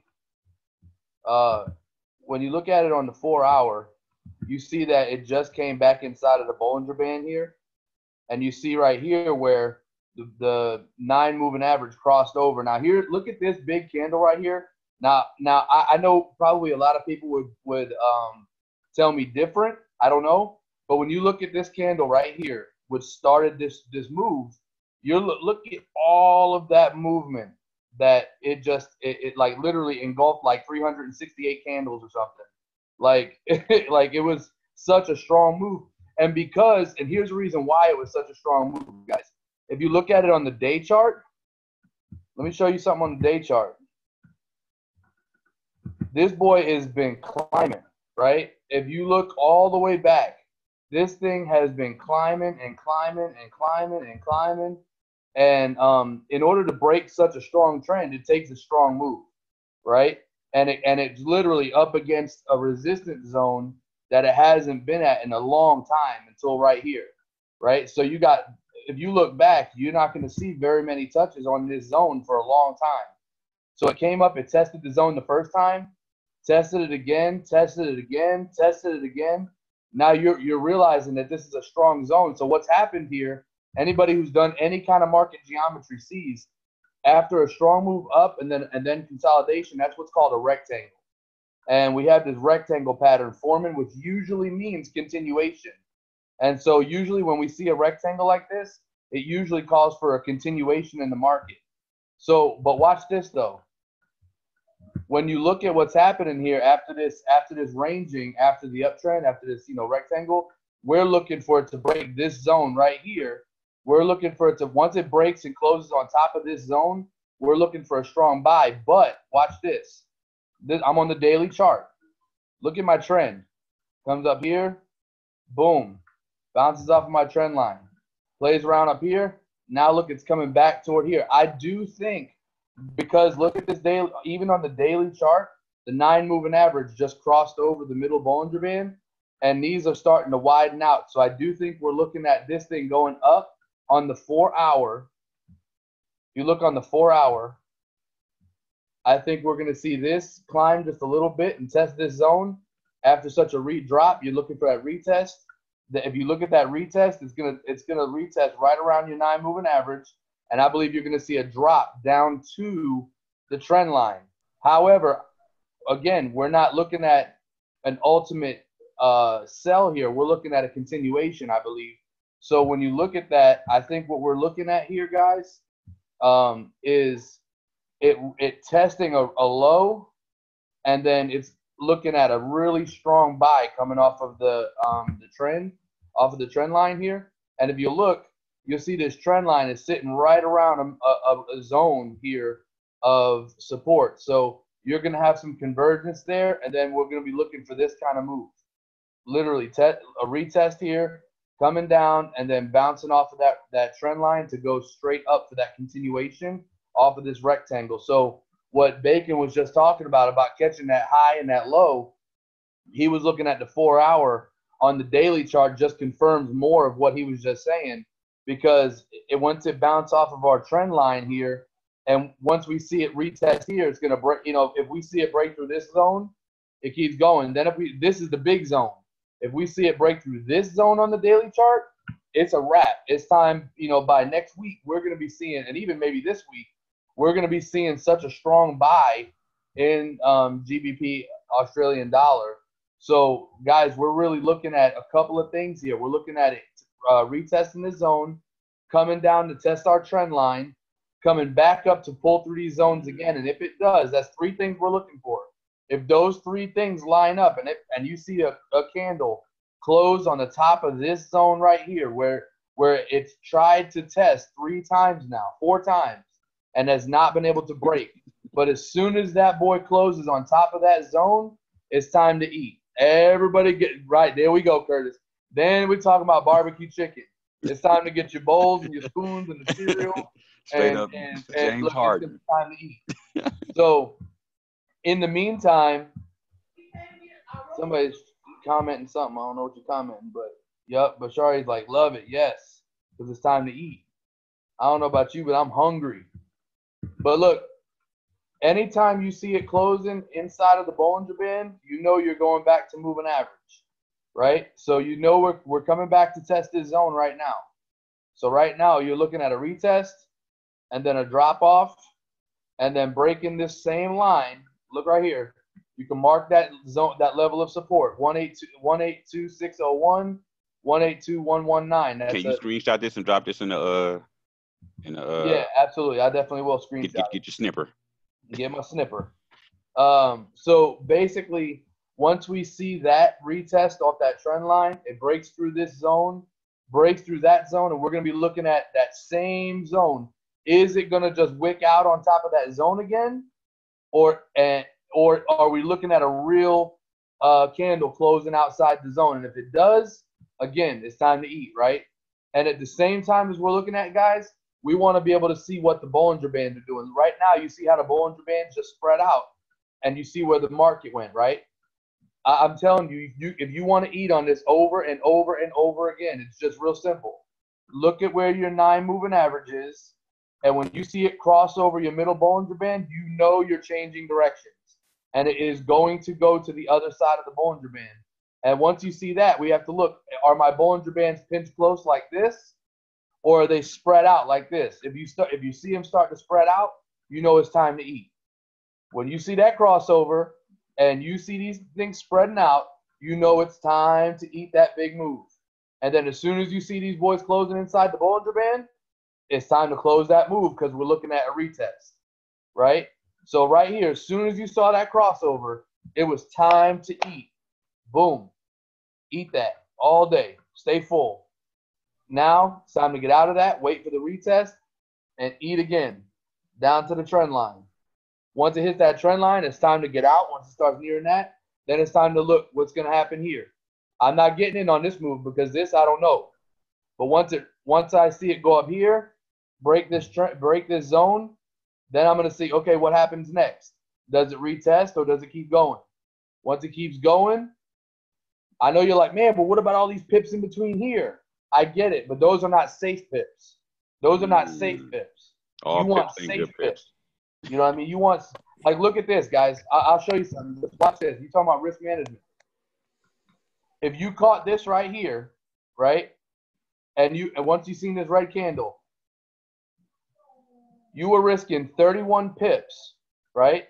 31 pips to in order and, and really not even because you really were only going to the top of that zone because since you already knew you had your zone. So you were risking around 20 pips. Guys, that's 280 pips. 280 pips. Hey Joe, can't you uh, publish that and link the link the chart? Yeah, yeah, I top will. of screenshotting it. Yeah, I will. As soon as uh as soon as we're done here, I will. That's barbecue chicken drop off right there. And, and so and so we don't know maybe 275 off the top, but we do know once we see that cross that it's going down to the other Bollinger Band. So let's just say conservatively we risk 20 for 126. That's one to six. Go six to one, guys. You could literally, if you're trading that kind of um, um, odds, if you're trading on that kind of a, a, a percentage, you're if you lose, you know, uh, eight out of ten, you're still breaking even. you know what I mean? Like you could lose, and not to say you should be losing eight out of ten, but if you're hitting that fifty percent with that kind of a setup, guys, you're literally going to be making so much money in the market. It- It's ridiculous. So again, you're looking for low risk, high reward trades that are going to put you in a um, in, in a situation where you're in in these zones, right? Look at my zone right here. This thing formed this zone, right? And uh, now I'm looking for it to retest. But we know this zone is here. My my Bollinger Band or my uh, nine moving average is here. So we're looking for the retest to stop here first. And if you drop Fibonacci on it, you're looking at first level, second level, third level, right? So without I don't even have to do that right now. But look, first level, second level, third level. If you see that full that full retracement, what's that called? That's called a reversal, right? So if it, if it's a 100% re, um, retracement, we know that's 100% reversal. It's opposite direction, start for the buy. But right now we're looking for a retrace and then a continuation to the trend line and then a reversal. Check it here. Let's see what happens. If it goes through here, let's see what happens. If it breaks through here and the next the next candle that forms, bro, it's time to eat. All right. So GA is going to be a big pair to watch this week. Um, and we don't. I know we've kept you guys on forever. I'm not going to get into EA, but I will be posting some stuff about EA in Discord. Um, but guys, I'm telling you, what Curtis was talking about on his pairs, Jay Wayne, Jay's a beast. He was you know calling out crazy stuff on his pairs. Uh, Bacon, some of the stuff he was talking about, and now just looking at some of these zones and looking what's coming. This is going to be a big week in the market. I believe it. And um, just make sure you guys are, are, are getting in with us if you're not in the team, it's time to um, you know, it's time to get in the team. So, um, Curtis, I'm gonna turn it back to you, bro.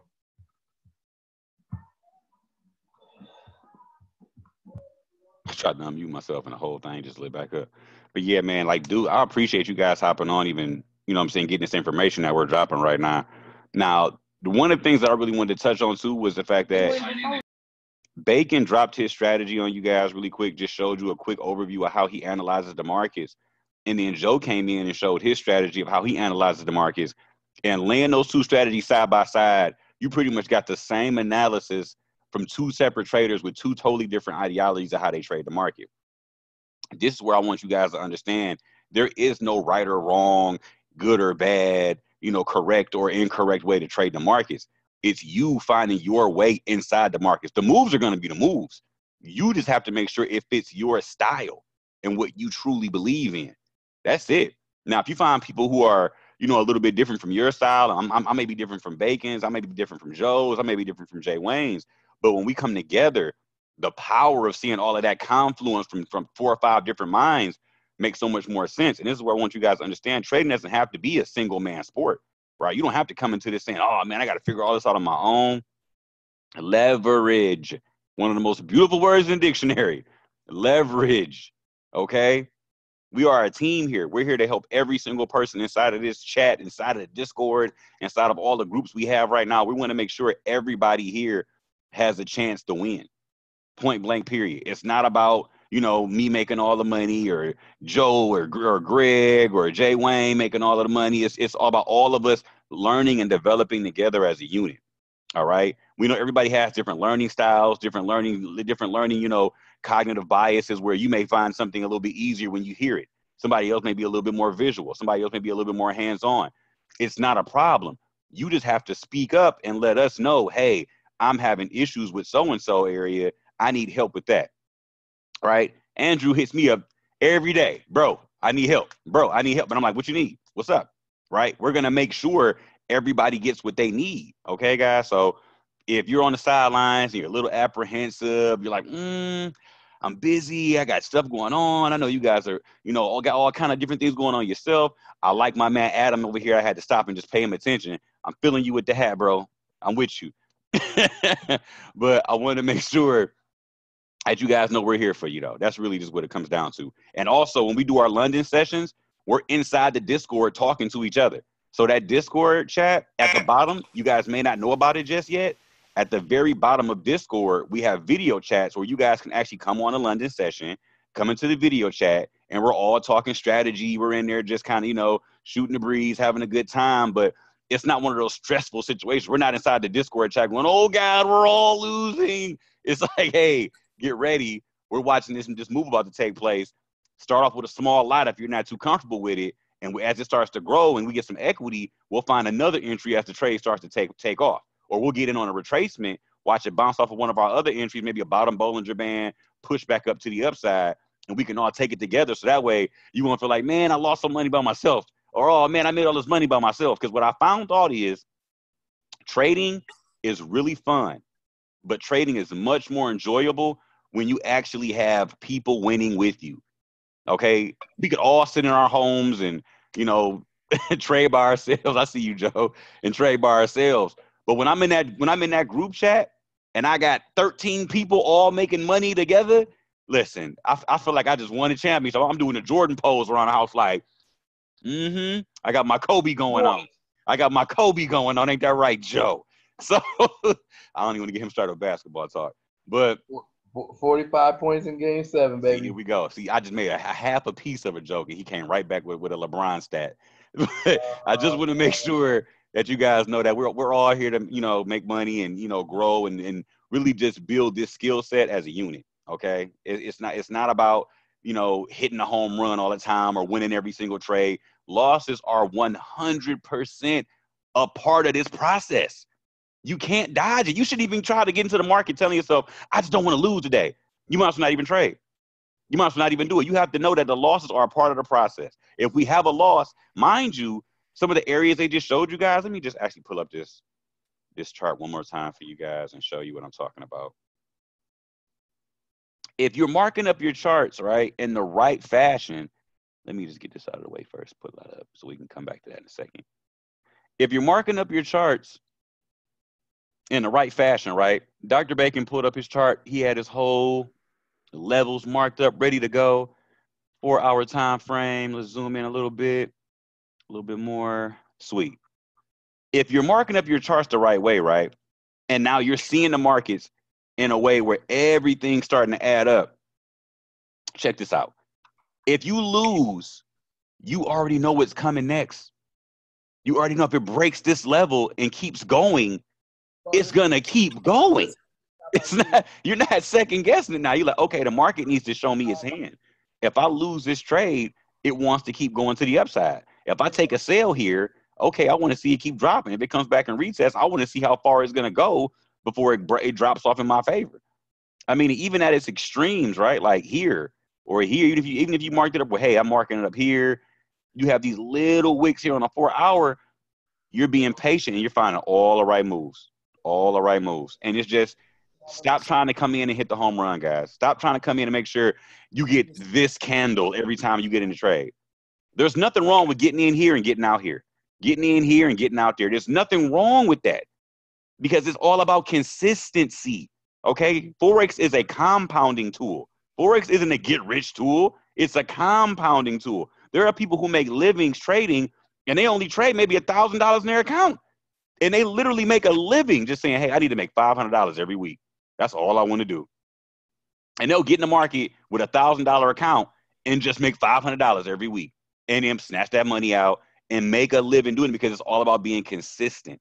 They're not coming in trying to hit the home run. They're taking those small moves and letting that account keep compounding, keep compounding. And you got to get that you got to get that mentality out of your head where every trade has to be, you know, a hundred dollar or a hundred pip, or it has to be a, a eighty pip move every time you get in, right? You can risk fifteen pips to make sixty, and that's fine. That's one hundred percent fine. But you have to make sure that if you're going to take these kind of trades and you're going to trade certain pairs, because understand when we talk about GBP pairs, these bad boys got big moves. So GBP pairs may not be very, you know, user friendly to the new person. Okay, think about this.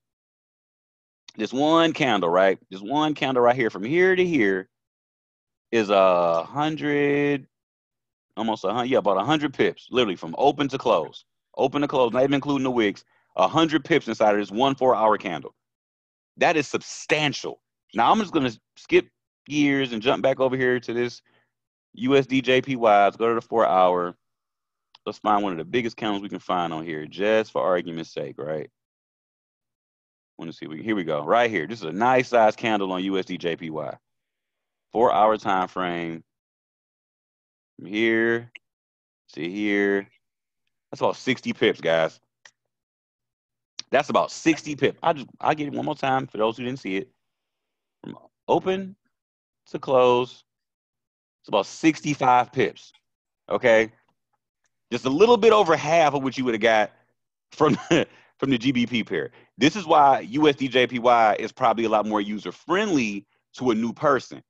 You can't get chopped up trading a USD JPY as opposed to trading a GBP pair. We talked about ATR. We understood what that meant. If you're new, you don't understand what ATR is. It just stands for average true range. I want you guys to think about the Great British Pound as just as what it is. It's one of the most expensive currencies on the planet. There's no other currency on the planet that's more valuable than a Great British Pound. Okay, it's more valuable than the U.S. dollar. It's more valuable than the euro. It's more valuable than the yen, the Australian dollar, the New Zealand dollar, all of that. So now, when you understand the the, the range and price, where if the if the Great British Pound is up against something like uh, the Japanese yen, which is a devalue currency, where it means it's always cheap, the range, the actual distance between those two pairs is very vast. So now, when that pair starts to move and fluctuate, there aren't really close price ranges. They're so far stretched out. That's why those candles have so many more pips in them because the difference in the value of those two currencies is vast. Okay.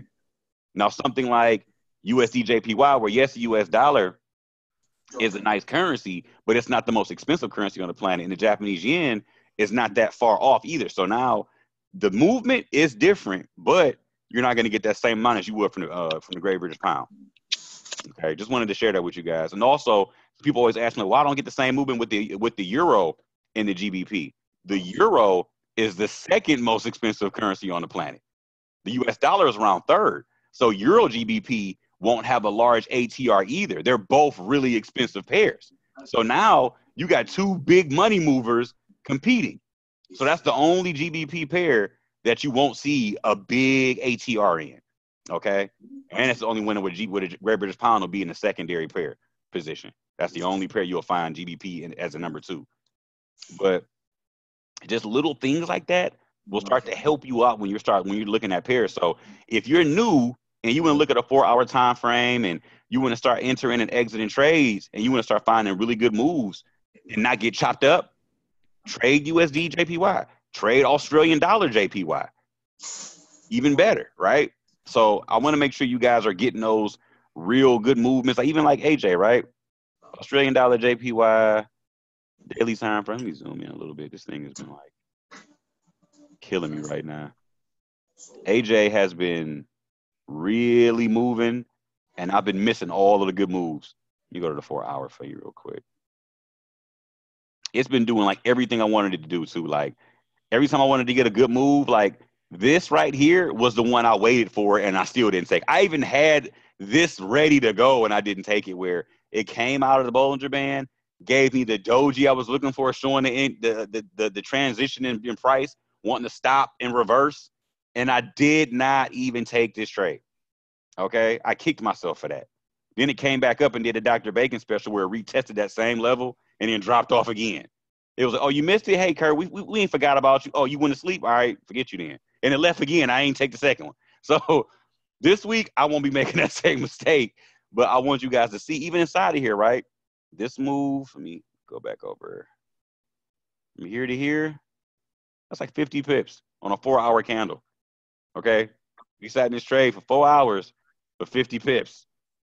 This is where you will see us as the, you know, leadership in the, in the team. You will see more GBP pairs than not coming from most of our trades because we know if we're doing all this analysis, we're gonna we want the we want the real movement. If that that makes us greedy, then it is what it is. But I'm gonna transition off of this, and I just wanted to kind of touch on how the strategies overlap. Where I may be different from Bacon. Bacon may be different from Joe. Joe may be different from Jay Wayne. Jay Wayne may be different from Greg. You know, Greg may be different from Casey. But we're all trading using the same charts. We're all looking at the same price action. Okay. And when you when you overlap those strategies, it's going to, we all gonna see the same thing. And Curtis, that's even more of a that's even more confirmation too. Like when you have when you know everything about forex is confirmation, right? Everything about forex is patience and confirmation. Like I said in my training last week, when you're looking at pairs, I know when I'm looking at pairs, and I know Curtis and Jay, you know, our team, when we're looking at pairs, we're looking just as much for reasons to stay out of a trade as we are for reasons to get in a trade. Mm-hmm. You know, so like I might see five or six different reasons why this trade could possibly go in the right direction. But if I see one reason that's legitimate that it's going to go in the opposite direction, that's enough for me to not want to get in that trade. That's enough for me to say, well, let's wait, let's hold off. And so I say all that to say this.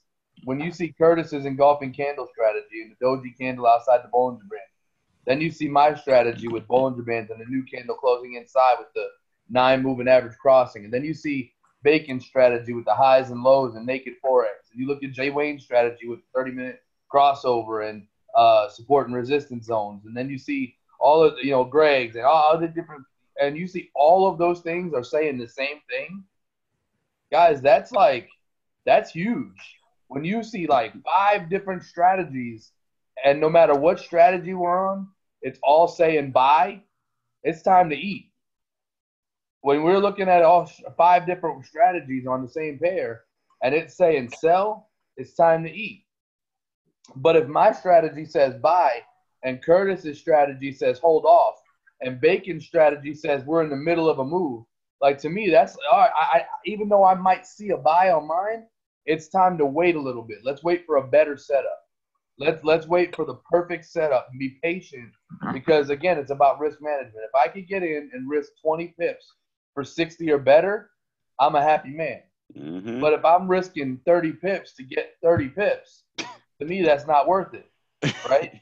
so I'm looking for you know good high uh, high reward, low risk trades, uh, plenty of confirmation, and as well I'm looking for reasons to stay out of the market. Is there anything here telling me that I should hold off? And if there is, I'm gonna hold off, right? And so I'll ask when we call out our trades to each other. Hey Curtis, hey Jay, hey Greg, hey Bacon, what do you guys think about this trade? And and if and if Curtis says, you know, hey, what you're saying is right, but look at this, and I say, oh, I didn't see that because hey, I'm a human, I didn't see that, and it's so good to have more eyes on these trades. And guys, so look, what I'm encouraging you to do is is learn all of these strategies, find what works best for you, but keep all of them in the back of your mind so you can refer to them for confirmation and then get in on Discord with all of us. And when we're trading that session together, now it's like, hey guys, I, like Andrew Woodruff, he does it a lot. You know, hey, what do you guys think about this?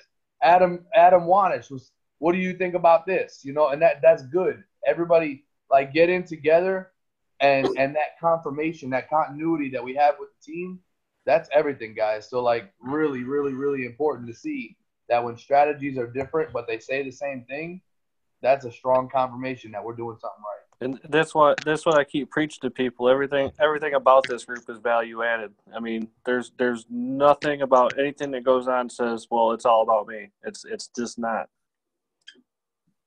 Oh yeah. Oh yeah. I mean, without you guys, we just a bunch of dudes sitting around talking charts all day. Like, I just feel like at the end of the day, we all came into you know IML to make a couple extra dollars, and it's so much more once you once you lock arms with a real team. Everybody cares about everybody. Like if Adam hits me up and say, "Man, I had a hard day in the market today," I wouldn't explain it to me, bro. Let me know what happened. Give me on the up and up so I can I can see something that you didn't see, or you can tell me, "Hey, my entries were good, but I was just getting in too early," or "Hey, I was my entries were good, but I was getting in too late." And being early and being late in the market is the exact same thing. Period. There's no, it's no way to sugarcoat it. Being early and being late is the exact same thing. It's all about timing, and this is why having pending orders plays it plays a part. This is why having a team plays a part because you could be busy with the family, busy with work, and if Joe sees something, he drops it in a group. It's like, oh man, thank you. I was paying attention to that, but I was busy for a minute. Thank you for giving me the heads up on this, bro. It's definitely game time on this trade because it's been on my checklist or my watch list. Also, with the news that we have here from Forex Factory, this allows us to make sure we're not trading the wrong pairs at the wrong times. Okay?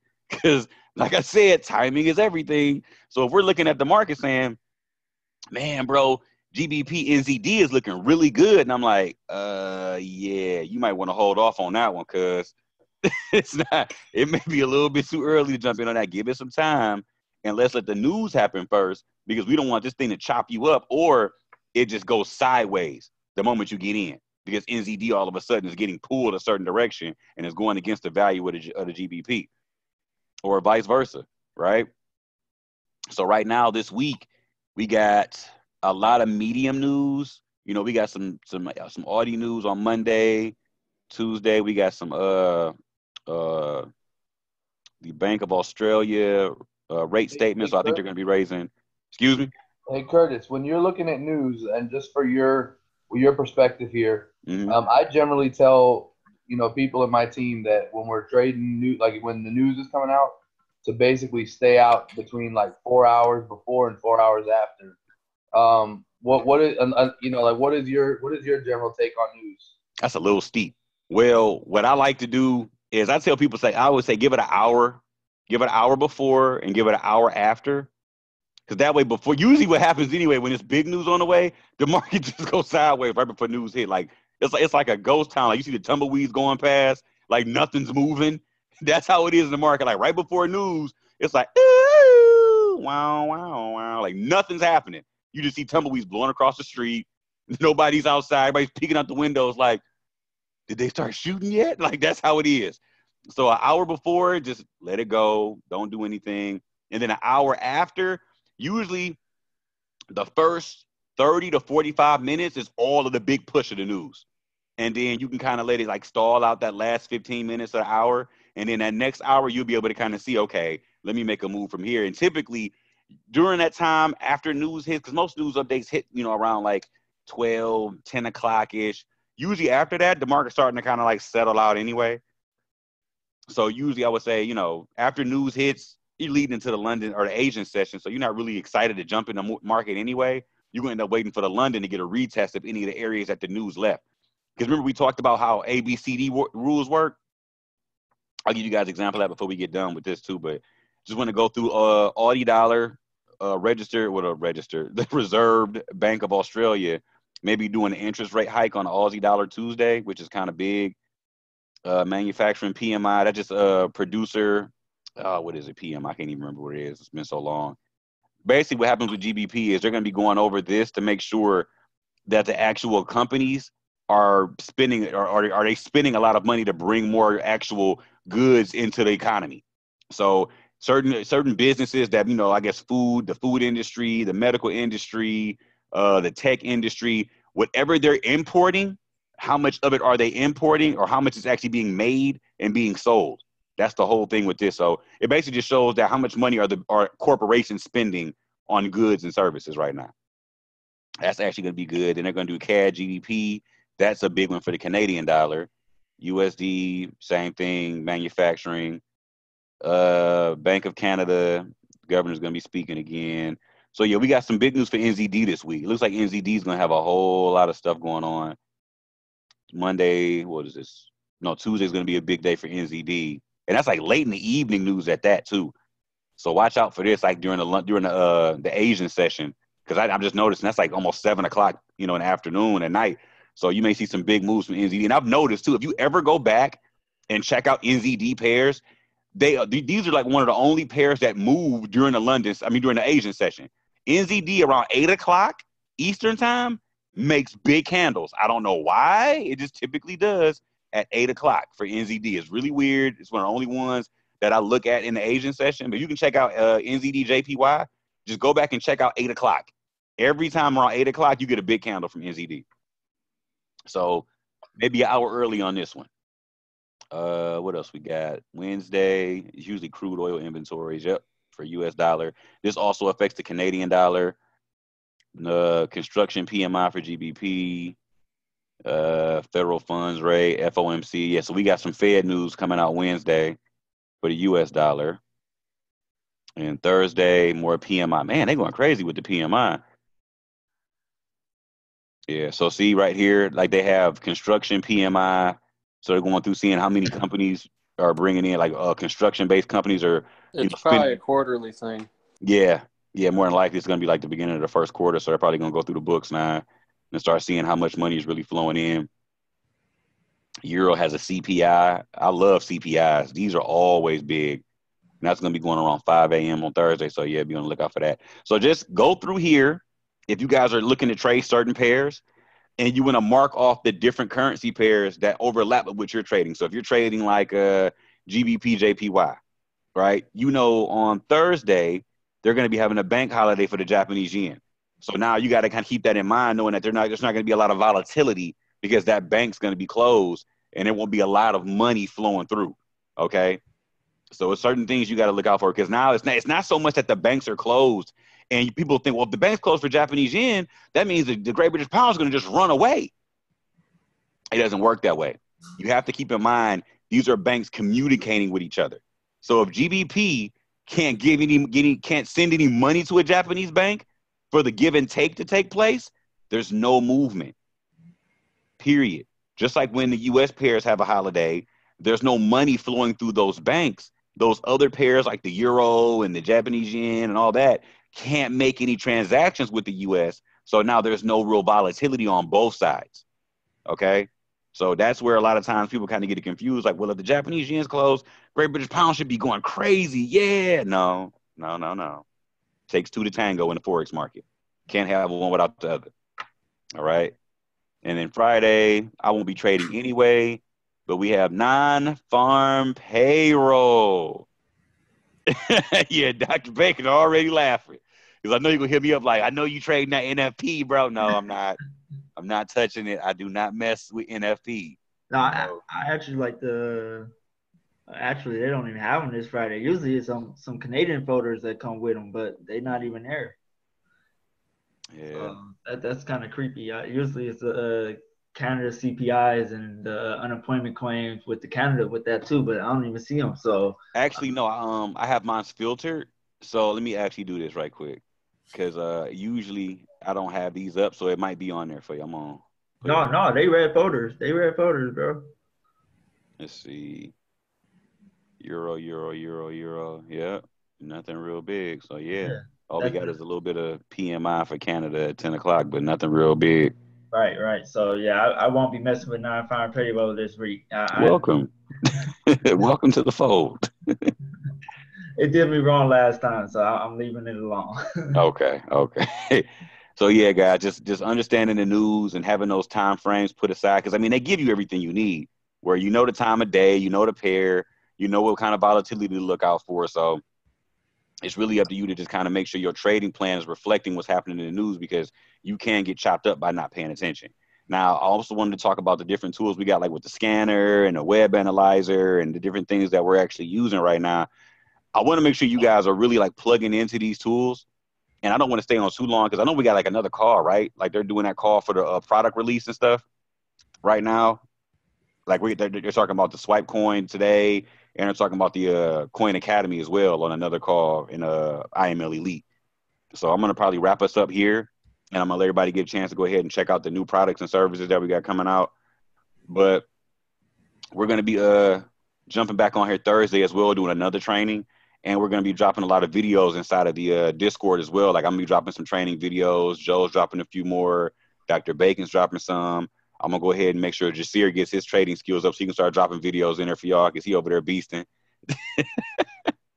so I'm gonna go ahead and end it here, guys. And I, I don't know if uh, Jay Wayne is still on. I know he's probably the leader right now, so he's gonna have to uh, do the stop recording. Yeah, I got you. Just let me All know. right, yeah. So I appreciate everybody tuning in and jumping on.